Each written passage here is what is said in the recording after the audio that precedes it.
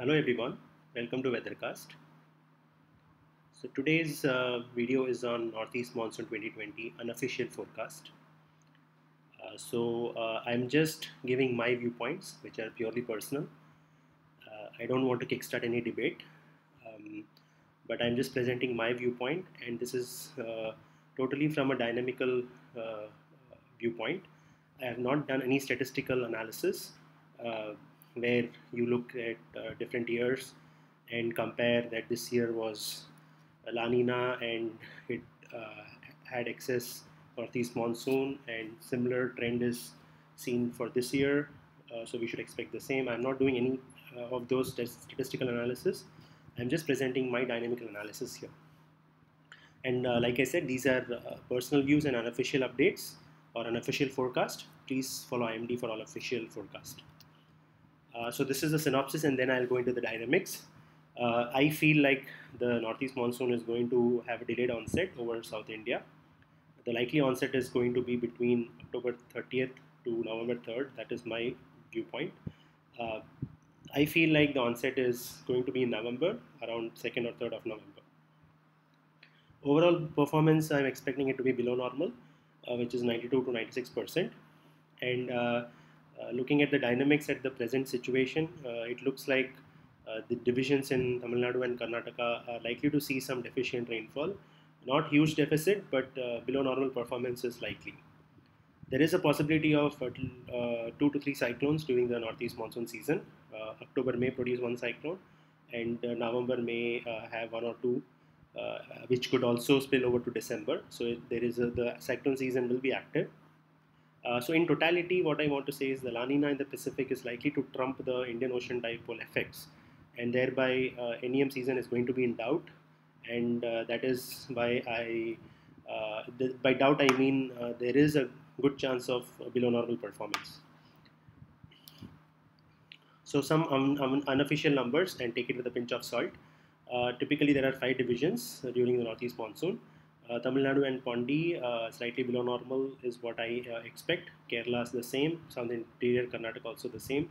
Uh, Rayalaseema, um, I feel it is borderline, but I'm putting it in a below normal category. Uh, except for coastal Andhra Pradesh or other districts, uh, subdivisions will perform subpar. That is what I feel, and because of this, overall performance is likely to be below normal. So now coming to the dynamics, the southwest monsoon withdrawal is delayed. This has happened many times over the past years, but this year it's uh, kind of uh, dragging along uh, because uh, the withdrawal has been very, very gradual. The main reason is because the anticyclone is kind of stuck here. The anticyclone has to move further down and uh, come all the way up to central India, and then only um, it will uh, create the northwest, sorry, the northeasterlies or easterly winds patterns to align and thereby officially have a northeast monsoon announcement. That is the onset. But as you can see in this uh, figure, there is still a anticyclone which is uh, which has not even crossed uh, Mumbai and Maharashtra, so it is still lingering around North India. And below, uh, you can see that there is a nice uh, there is a nice cyclonic pattern, which means that the Bay of Bengal is going to produce low pressure systems, and the monsoon trough axis, the southwest monsoon trough axis, is very much active near central India and west coast and whatever system forms uh, in the Bay of Bengal will move all the way across the west coast. That is mainly because the ITCZ and the monsoon circulation is very very active uh, in um, uh, in over central India and west coast of India. So this is one of the reasons that uh, southwest monsoon has a bearing on northeast monsoon. So delayed withdrawal southwest monsoon means uh, there is going to be a delayed onset as well. And uh, in typically the southwest monsoon withdrawal, if it if it is delayed, uh, there is still a chance of early uh, onset or there is a uh, chance of uh, uh, uh, timely onset of northeast monsoon. But this year is different because the La Nina has developed very much late into the into the summer, and that is going to keep things active over the equator, equatorial region, and that's the reason why the monsoon trough axis is not able to push down uh, so that is the uh, make or break situation. Like you can say, you can compare many different years, but every year is very different. There is interseasonal and inter-annual variability of monsoon. Uh, so the, going by that, uh, the southwest, southwest monsoon withdrawal is going to get pushed, uh, and it is only going to withdraw most likely after October 20th. So maybe 22nd, 23rd, and from there on, the winds need at least three to four days or maybe even five days for the winds to align, the easterly winds to align and produce some kind of a tropical wave or a uh, upper air circulation for the northeast monsoon dynamics to kickstart. So that's why I'm saying that there is going to be a delayed withdrawal, sorry, uh, delayed onset of northeast monsoon. I hope the dynamics are clear. This is the La Nina. Uh, clearly, the La Nina has developed very much late, and it is still uh, increasing in its strength. Uh, you can see that it is now the SST anomalies have reached almost minus, uh, 0.9 and they are floating around that value. And of course, because of that, you can see that there is a lot of activity over Western uh, Pacific and the maritime continent, and that is also keeping a check on the wind alignment. Like the winds are not able to uh, become favorable for northeast monsoon onset because the maritime continent and western uh, Pacific is producing systems which is taking away the uh, moisture or taking away the uh, alignment of the wind patterns away from the uh, Indian Ocean or it is not allowing it to align in a proper manner for northeast monsoon dynamics. And this is also seen in this figure where you have, uh, because of the La Nina development, you have a lot of systems in the maritime ocean and the western Pacific. This is the Gulf and uh, Atlantic. Record number of cyclones are, are being produced. Uh, but uh, you cannot discount the effect of La Nina because it is clearly seen uh, in the uh, back-to-back to back-to-back systems that are being churned out from this uh, Western Pacific and uh, maritime continent. So a lot of low pressure systems is a clean signature of La Nina and uh, one important thing is La Nina has developed very late into the season.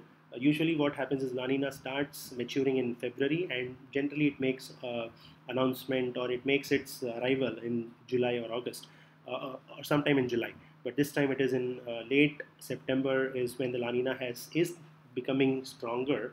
Uh, at least it's a moderate La Nina right now, and that is uh, uh, not favorable for northeast monsoon because it will not allow the winds to align favorably.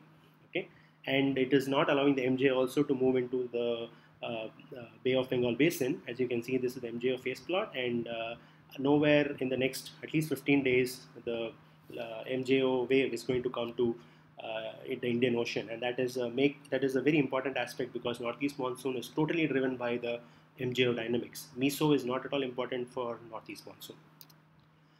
Uh, if you look at the CFS forecast, you can clearly see those signatures of delayed onset because uh, you uh, you have these back-to-back systems which are going to come in, and if they travel all the way along the west coast, which is seen in this uh, humidity plot where you have cloudiness, you can see that the monsoon trough is very active. If the monsoon trough was not active, then this system would come all the way to Orissa, and then it would just make a U-turn and go up because there will be a ridge which will be the anticyclone which will be sitting over central India and it will not allow the low pressure systems to come all the way to the west coast. But that is not that is not what is happening. The uh, systems are going to cross all the way and come to the west coast, and that means that southwest monsoon is still very active, and it is going to be active even in the uh, fourth week of October, as you can see from this plot. Uh, and that's why uh, only in the late half of October or the last leg of October or beginning of November, things are starting to look like some uh, upper air circulation or a tropical wave, easterly wave will get produced and that will uh, signal the onset of a northeast monsoon. So uh, looking at the dynamics, I have presented complete dynamics here. I'm not talking about any statistics. It looks like there's a delayed onset and the delayed onset generally would also uh, it doesn't correlate to a below normal performance but I feel like since La Nina is very active it is going to take away the moisture uh, most of the moisture and uh, not allow strong systems or strong sustained systems. Like cyclones are strong systems, but they're not sustained. Strong UAC or tropical waves to form uh, continuously and bring in a lot of rain. So there are going to be very uh, long break periods, is what I believe, during this northeast monsoon season. Looking at the local aspect, you are you may be thinking I'm only talking about Pacific. Okay, let us talk about Indian Ocean, IOD. Uh, you can see that the temperature differences are not too much. It is uh, 27, 28, this is 29. Uh, so that uh, basically means that uh, the IOD is in a neutral phase or or a very, very weak negative phase. Uh, so that again tells me that the Indian Ocean dynamics are not going to be that important for Northeast monsoon dynamics this season because the La Nina is going to trump that. So uh, in conclusion, this is what is uh, happening, uh, or uh, this is the this is what the dynamics, at least from my viewpoint, whatever I understood, uh, is telling me that the onset of northeast monsoon is going to be delayed. Below normal performance is uh, likely, probability is very high. That's all I'm saying. Uh, if it performs normally, well and good, but probability is what I'm talking about based on the dynamics. And in totality, La Nina in the Pacific is going to trump IOD effects, so IOD is not going to play a very important role. That is what I feel. Okay, so uh, uh, I thank you for your support. Again, these are all unofficial updates or unofficial forecast. Uh, for all official forecasts, please follow the government agency or private agencies. Uh, thank you for your support and please subscribe to this channel if you like these videos and I'll be back with more updates later.